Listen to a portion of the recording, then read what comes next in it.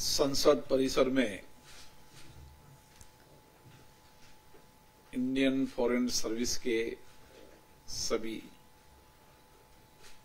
Training officer हमारे पड़ोसी देश, भूटान के भी इंडियन फॉरेन सर्विस के अधिकारीगण, मैं आपका संसद में स्वागत करता हूँ, अभिनंदन करता हूँ।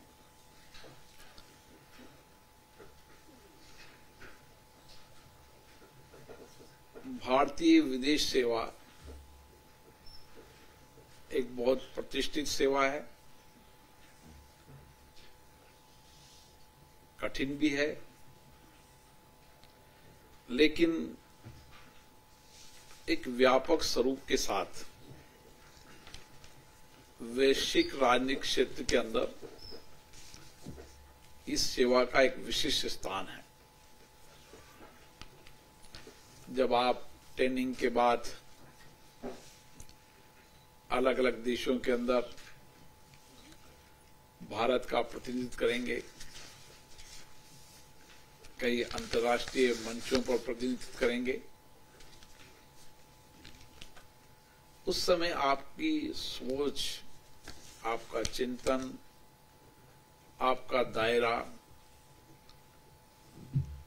बहुत व्यापक होगा। और जो कुछ भी आपने इस प्रशिक्षण अवधि के अंदर जो भी ट्रेनिंग की, उस प्रशिक्षण अवधि का लाभ भी आपको कहीं ना कहीं निश्चित रूप से इस अनुभव का लाभ भी मिलेगा। एक समय होता है जीवन के अंदर, जब अध्ययन पर ही सारा ध्यान केंद्रित होता है। उस अध्ययन के बाद जब हम वास्तविक ज़िंदगी के अंदर जाते हैं तो हमें कई सारी चुनौतियों का सामना करना पड़ता है। कई नए सेक्टर्स आते हैं, क्योंकि ये सेवा तो ऐसा है कि आप उस देश के अंदर भारत का प्रतिनिधित्व कर रहे हैं। और दुनिया के अंदर भारत की तस्वीर रखने का काम आप करेंगे। तो जितना आपका अनुभव होगा, जितना आपका प्रेजेंटेशन व्यापक होगा, उतने ही भारत के बारे में एक अच्छी धारणा बनेगी।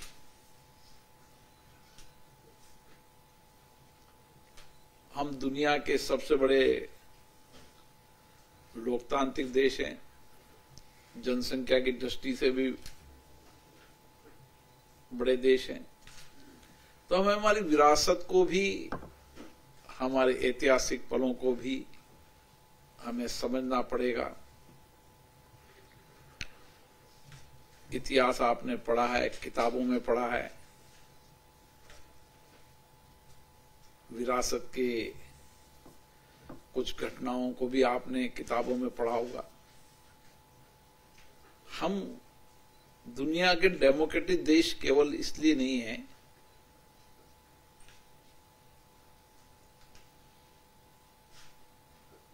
कि हमने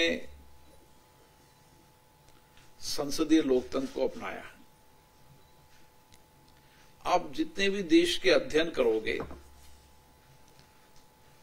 आपको लगेगा कि जब भारत आज़ादी की लड़ाई लड़ रहा था और आज़ादी के बाद भारत की स्थिति में क्या क्या परिवर्तन हुआ? दुनिया के बहुत कम देश होंगे जिसकी जनसंख्या इतनी बड़ी अशिक्षित थी। कि जब आज़ाद हुए थे तो हमने जब संसदीय लोकतंत्र को अपनाया, सबको मताधिकार का अधिकार दिया। उस समय भी दुनिया के बहुत सारे जो विकसित देश है, उनमें भी लिंग के आधार पर मतों का अधिकार नहीं किया था। लेकिन हमने कहा कि हर व्यक्ति को जो वयस्क है, जो मतदान की योग्यता रखता उम्र के आधार पर, न लिंग के आधार पर, न शिक्षा के आधार पर, हम कोई भेदभाव नहीं करेंगे। और 1952 का पहला इलेक्शन और आप 2009 की इलेक्शन को देखेंगे तो लगातार एक अध्ययन करेंगे कि आपका मतों का प्रतिशत लगातार बढ़ रहा है। जो जो मतदाताओं में जागरूकता पहुँची, वो मतदान का प्रतिशत बढ़ता गया। तो हम कभी देश में जाएँगे, हम कहेंगे, हम सबसे बड़ी डेमोक्रेसी है। हमारी डेमोक्रेसी स्ट्रांग हुई है। स्ट्रांग होने के क्या कारण है कि उन्नीस सौ बावन में ये मतदान था, लगातार मतदान का प्रतिशत बनना, ये हमारा डेमोक्रेसी के प्रति लोगों का विश्वास पर दूसरा विषय की भारत में लगातार इतनी बड़ी जनसंख्या के अंदर निष्पक्ष चुनाव होना चुनाव प्रक्रियाओं पर सवाल नहीं उठना। और सबसे बड़ी बात है कि इतनी बड़ी संख्या के अंदर आप कई देश जाएँगे कई की पॉपुलेशन एक मिलियन होगी, कहीं की दो मिलियन होगी, कहीं की दस मिलियन होगी। जब पॉपुलेशन की आप चर्चा करेंगे, इतनी बड़ी हमारी पॉपुलेशन है, हम भी जब विदेश में जाते हैं तो बड़े बड़े देश की पॉपुलेशन भी हमसे एक चौथाई से भी कम है। वहाँ भी कभी न कभी चुनाव पर सवाल उठे। कभी सैनिक शासन आए, कई अन्य शासन आए। लगातार पिछहत्तर वर्ष तक डेमोक्रेटिक सिस्टम से शासन चले। सत्ताओं का परिवर्तन हो, चाहे राज्यों में हो, चाहे केंद्रों में, चाहे पंचायत में हो। हमारा डेमोक्रेटिक सिस्टम पंचायत से लेकर दिल्ली तक हर चीज़ में मतदान से है। और मतदान के बाद सबको अपनी अपनी संस्थाएँ हैं, उनको अपनापन, रेखांकित है, पंचायत का क्या काम होना है, विधानसभा का क्या काम होना है, नगर निगम का क्या होना है, पार्लियामेंट में क्या होना है। संविधान बनाते समय वो कितने विद्वान लोग होंगे, जिन्होंने दुनिया का संविधान अध्ययन किया। लेकिन अपने विजन से, संविधान को बनाया। आज भी भारत का संविधान दुनिया के कई बड़े देशों के संविधानों से सर्वश्रेष्ठ ही है, मार्गदर्शक भी है, और उस पर हमारा सारा सिस्टम जितना भी है, हम संविधान से चलते हैं। ये एक विशेषता रही। संविधान में संशोधन हुए हैं आवश्यकता के अनुसार हुए हैं वो संविधान सभा की डिबेट जब आप पढ़ेंगे तो आपको लगेगा हर संविधान पर कितनी डिबेट हुई, कितनी व्यापक चर्चा हुई, लेकिन सर्वसम्मति से संविधान बना। समय यह था कि परिस्थितियों के अनुसार फ्लेक्सिबल होगा, और इसलिए सौ से ज़्यादा संविधान में संशोधन हुए। लेकिन हम डेमोक्रेटिक सिस्टम को मेंटेन कर पाए लगातार। और सहज रूप से सत्ता का हस्तांतरण होता रहा। जो इतने बड़े देश के अंदर लोगों को लगता था कि कैसे भारत सर्वाइवर कर पाएगा, उस समय जब उन्नीस की आज़ादी के बाद जब विश्व के देशों के कमेंट्स आप देखेंगे, आपको लगता था अधिकतम देशों का मानना था कि जो संविधान बना है या जिस तरीके की चुनाव पद्धतियाँ अपनाइए नहीं भारत लंबे समय तक चल पाएगा। हमने साबित किया, हमने चर्चा, डिबेट, संवाद से देश में परिवर्तन किए, कानून बनाए, कानूनों पे भी व्यापक चर्चा, संवाद हुए। हम कानूनों के अंदर जब जब भी आवश्यक हुए परिवर्तन किए। हमने कानून को रिपील भी किया, नए कानून भी बनाए। पुराने जो प्रचलित कानून थे, उन कानूनों को आज की आवश्यकताओं के अनुसार बदला भी सही। ये सारे डेमोक्रेसी के चीज़ों को आपको समझना, अध्ययन करना, ये आपके हमेशा वहाँ पर जब कभी आप जाएँगे तो चर्चा में रहेंगे कि भारत डेमोक्रेटिक क्यों है? डेमोक्रेटिक हमारी विचारधारा में है, हमारी धारणा में है तो इतिहास पढ़ेंगे कि भारत शुरू से गाँव से लेकर डेमोक्रेटिक सिस्टम है। एक बना हुआ था गाँव में, पंचायत होती थी, पाँच लोग बैठ के थे, पंच होते थे, निर्णय करते थे, कोर्ट हुआ करती, थाने हुए करते थे, गाँव लोग मानते थे। ये हमारी हमेशा हमारी विचारधारा में रही है, हमारी कार्य प्रणाली में रहा है ये। जैसे अपने आप बिल्ड होता है वैसे ही लोकतंत्र हमारी परम दैनिक जीवन के अंदर है। जब कभी घर में भी विवाद होता है तो हम पाँच लोग बैठकर चर्चा करते हैं, जो फैसला हो, फिर उसको सम्मानते हैं। तो हमें डेमोक्रेटिक को समझना और डेमोक्रेटिक में चर्चा, संवाद, डिबेट, उससे परिवर्तन हुआ। और पिचहत्तर वर्ष के अंदर आज भारत जिस वैश्विक मंच पर आज नेतृत्व कर रहा है, आज दुनिया के अंदर जितनी भी बड़ी पॉलिसीज़ है, नीतियाँ हैं, उसको बनाने का काम भारत कर रहा है। हमने कई सारे ऐसे परिवर्तन किए जो दुनिया उसको मानने लगी है। इसलिए वैश्विक मंचों पर बहुत कठिन होता है, सब देशों की अपने अपनी सहायता होती है। भौगोलिक स्थितियाँ होती है, संस्कृति होती है, धर्म होता है, विचारधाराएँ होती है। लेकिन उसके बाद भी आप देखेंगे कि भारत वैश्विक मंचों पर आज मज़बूत हुआ है। हमारी इकोनॉमी पॉलिसी के अंदर, हमारी सोशल पॉलिसीज़ के अंदर, हमारी टेक्नोलॉजी के अंदर, हमारे एजुकेशन सिस्टम जो एजुकेशन सिस्टम में बहुत बड़ी जनसंख्या अनपढ़ थी, आज हमारी नौजवानों की बौद्धिक क्षमता है कि दुनिया के अंदर बेस्ट डॉक्टर होंगे तो भारत के होंगे, इंजीनियर होंगे तो भारत होगा आईटी के अंदर जापान जैसे देश में जाओगे तो आप लोग को लगेगा वहाँ आईटी सेक्टर के अंदर भारत का नौजवान नेतृत्व कर रहा है। और हम मानव संसाधन को सर्वश्रेष्ठ करने की दिशा में लगातार काम कर रहे हैं।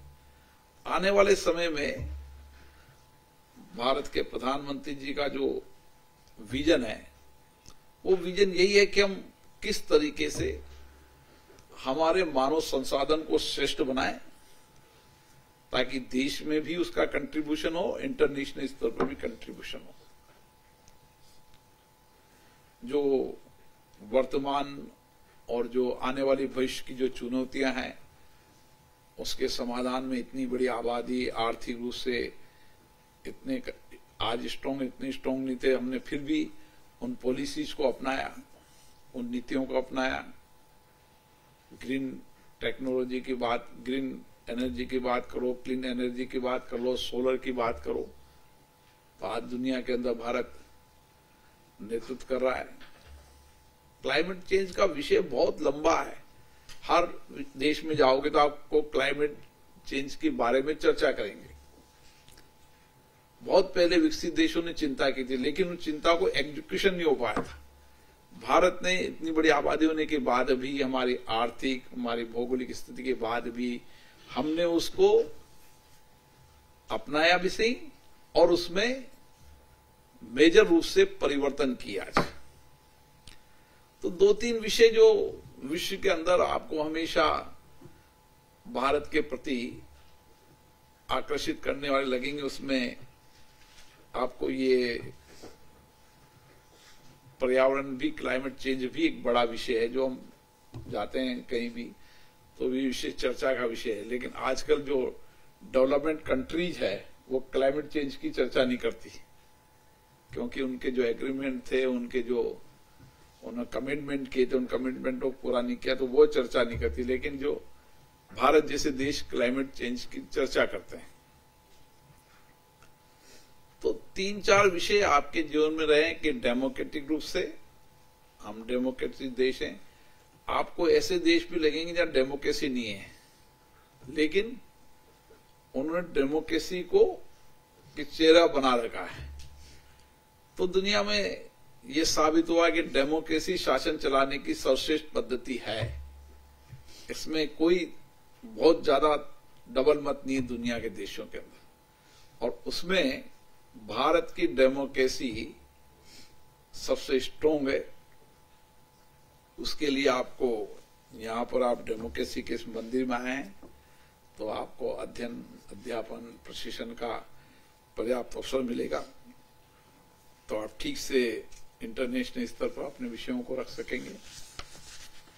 जिन जिन विषयों के अंदर भारत में नए परिवर्तन किए हैं, उन विषयों को आप देखेंगे, आज दुनिया के अंदर आर्थिक डेस्टिनेशन का बड़ा भारत बन रहा है। दुनिया के देश को कोई अगर, कोई देश में को अनुकूलता या यहाँ पर मेन पावर या बाज़ार, उस सारी दृष्टि से देखेंगे तो भारत नज़र आता है। इसमें भी भारत ने काफ़ी कदम बढ़ाए। जी ट्वेंटी का आप अनुभव करेंगे कि जी ट्वेंटी अन्य देशों में भी जी ट्वेंटी हुए लेकिन किस तरीके भारत ने जी ट्वेंटी के अंदर अधिकतम राज्यों को, अधिकतम सेक्टरों को कवर किया ताकि उस डिबेट डिस्कशन से जो निर्णय निकले हुए वैश्विक मंचों पर समान रूप से लागू हों, ताकि वैश्विक रूप में परिवर्तन हो। इसलिए हम उस संस्कृति, वसुदेव कुटुंबकम संस्कृति का हमने नारा दिया कि वसुदेव कुटुंबकम हमारी संस्कृति है। हमने विश्व को एक परिवार माना है। एक परिवार, एक पृथ्वी। और हमने ये नारा इसलिए दिया कि आप देखेंगे कि कोई देश इस तरीके का नारा नहीं दे सकता, जो कि वन अर्थ है। वन फैमिली है और वन फ्यूचर है। कोई देश का चिंतन ऐसा नहीं हो सकता कि हमने केवल भारत नहीं, हमने दुनिया को साथ लेकर, सब साथ मिलकर चलेंगे सहयोगी के रूप में चलेंगे तो ही परिवर्तन। ये हमारी संस्कृति है, इसकी बड़ी पहचान दुनिया के अंदर बनती जा रही है। भारत का विजन जो है, वो दुनिया के साथ लेकर चलना है। अन्य कई सेक्टर हैं जो डिफेंस सेक्टर हैं हेल्थ सेक्टर आप हेल्थ सेक्टर में आप देखेंगे कि दुनिया के अंदर सबसे अच्छी क्वालिटी की दवाएँ सबसे सस्ती दवाइयाँ भारत की है। अफ्रीकन कंट्रीज़ के अंदर तो भारत की दवाइयाँ जाती है। और वो लोग कहते हैं कि हमें भारत और टूरिज़्म में भी देखोगे तो टूरिज़्म के साथ मेडिकल टूरिज़्म के अंदर भी इलाज कराने, विकसित देश के लोग भी इलाज कराने भारत आते हैं। सस्ता इलाज और बेहतर इलाज।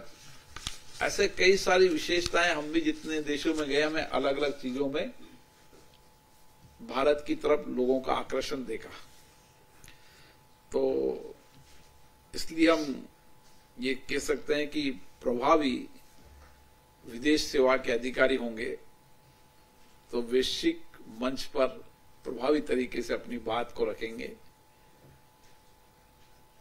और जो वैश्विक स्तर पर अपनी बात को प्रभावी तरीके से रखता है, वो देश के प्रति लोगों का आकर्षण बढ़ता है और हम धरातल की बात रख रहे हैं। इसलिए आज भारत की वैश्विक स्तर पर अलग पहचान बनी है, अलग शक्ति बनी है और हम कह सकते हैं कि वैश्विक स्तर पर नेतृत्व करने की क्षमता भारत में है। हमारी पॉलिसीज़ के कारण, हमारी पॉलिटिकल लीडरशिप के कारण, हमारे नौजवानों के कारण, हमारी आध्यात्मिक संस्कृति के कारण, ये कई कारण है जिसके कारण आज भारत नेतृत्व कर रहा है। मुझे आशा है कि आने वाले समय के अंदर दुनिया की आकांक्षाओं को पूरा करने का काम भारत करे, दुनिया की लोगों की अपेक्षाएँ भारत से हो, और भारत सबकी आकांक्षाओं, अपेक्षाओं को पूरा करने की शक्ति हो, ये हमारा मूल मंत्र होना चाहिए। यही हम सब देखना चाहते हैं। आप सब यहाँ पर आए, आप सबको बहुत बहुत शुभकामनाएँ बहुत बहुत बधाई।